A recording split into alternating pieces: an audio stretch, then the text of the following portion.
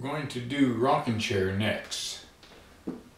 So if someone says rocking chair, there's only one definition for a rocking chair.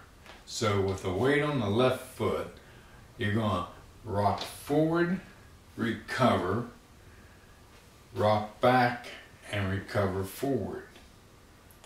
So again, rock forward and recover back on the left foot, rock back on the right foot, and rock forward on the left foot. With count, weight on the left, one, two, three, four, five, six, seven, eight. That is a rocking chair.